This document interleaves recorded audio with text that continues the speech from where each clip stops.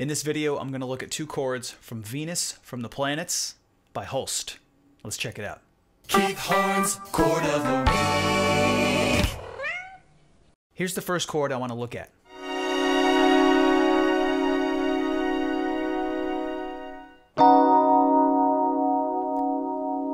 It's a B major 9 over the ninth. Lovely. So it's an interesting way to voice a major ninth chord. We usually think of a major ninth as, as like adding the ninth here, but in this case he has it as the root note, not the root, but the bass note.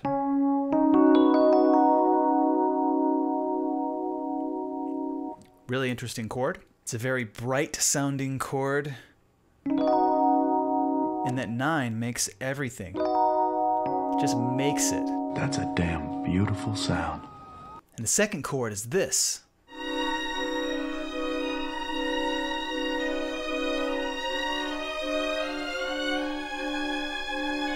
We're moving from the first one to another one, and that's this.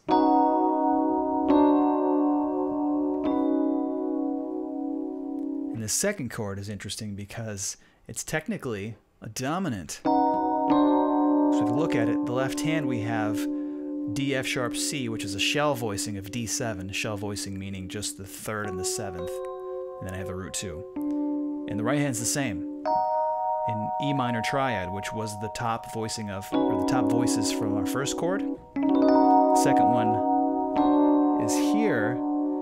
So what we have here is a D sh shell voicing, D7 shell voicing, and then an upper structure E minor triad. It's a very jazzy sound. Let me take it down an octave. I mean, especially with this electric piano. But in context, we don't hear that as a dominant, even though it really, really is. I mean, if you take it out, if you think of any other context, that sounds like it's going here. But he doesn't do that. Smooth. It's beautiful. So smooth. All right, let's take these two chords through some exercises.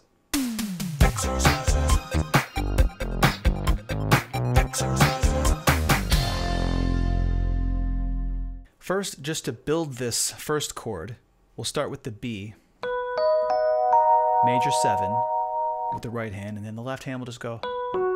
So we'll move triadically like this, but then we'll add the 7th and the ninth. Let's run that through the circle of fifths like this.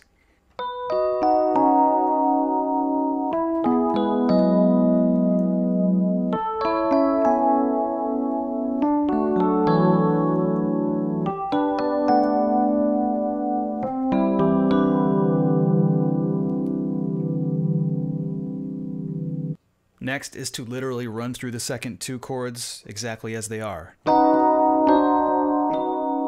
Through the circle of fifths. So in B first. E.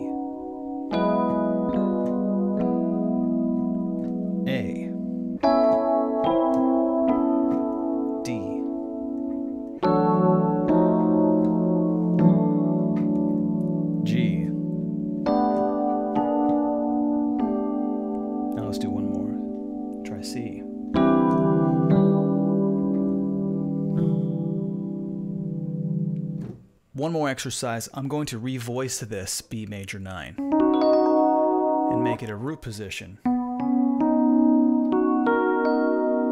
right, so we have one, two, three, five, seven, and a doubled third. And instead of where before we had a B major 9 to a D7 alt, essentially, I'm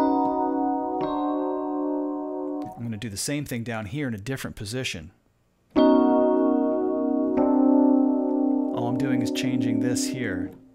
This 1, 2, 3 basically becomes a split 9 of B, right? The ninth is here, and if we split it in either direction, we get that. So B, major 9, and then E. A.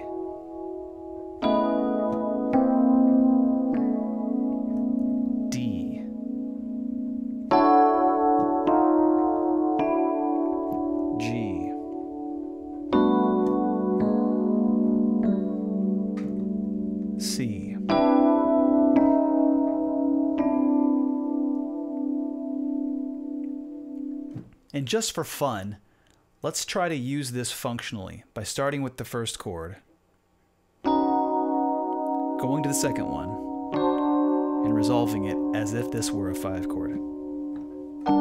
That does sound fun. So now what this gives us is a really interesting dominant prep in G minor. And I'm resolving it to G minor 9 with a major 7 because that's kind of where this wants to go. So let's try that in a few different keys.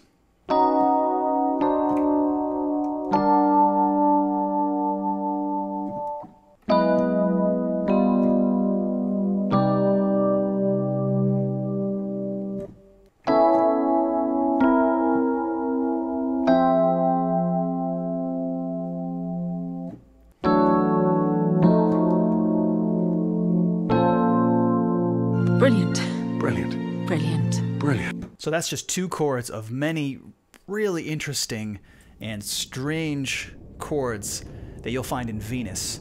So I'm going to do a few more videos on just this one movement from the planets because there's a lot in there that's usable and interesting and unique to this piece.